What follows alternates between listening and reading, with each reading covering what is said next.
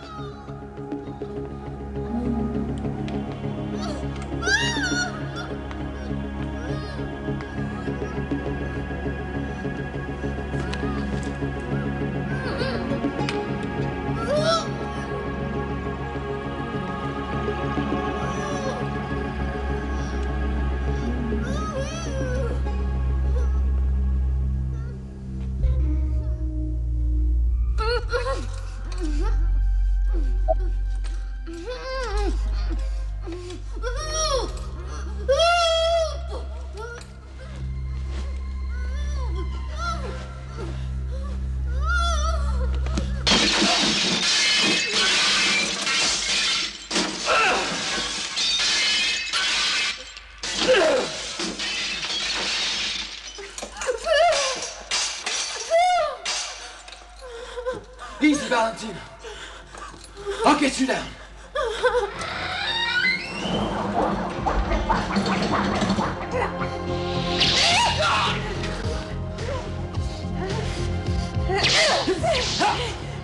Get out of that dream!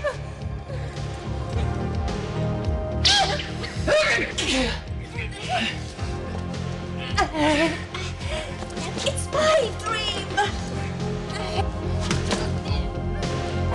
This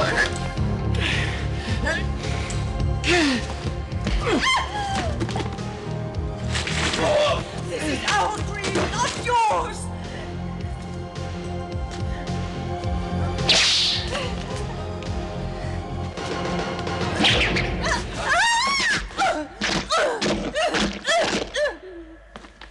Valentina!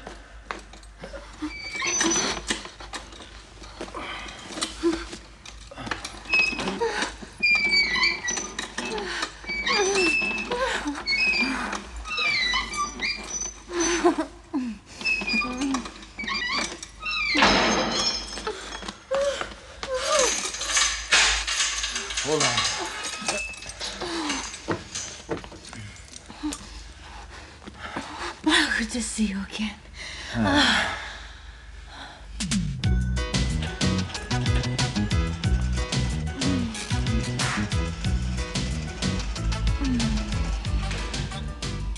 Lovely awakening. You realize it's already 10:30. Have I slept all this time? You have a long but restless sleep. You annoyed? No, amused. I was dreaming. Fortunately, it had a happy ending. Really? I'm glad to hear that. Sounded more like a nightmare to me. Well, it was at the start. I was trapped. And then? Ah, and, and then you suddenly arrived in the nick of time and saved me, Phil. And these suddenly arrived for you a couple of hours ago. Who are they from? Well, I don't know. Probably some admirer of yours.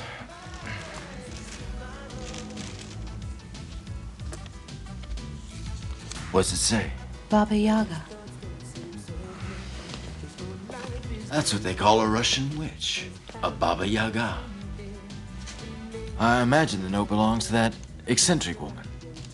Wouldn't you say? Well, it's obviously not from any woman. Women don't normally send red roses to each other. Pink, maybe. Well, good for you. But you did have your doubts about her intentions. Maybe this Baba Yaga was ambidextrous, sexually speaking. What's that? Hmm?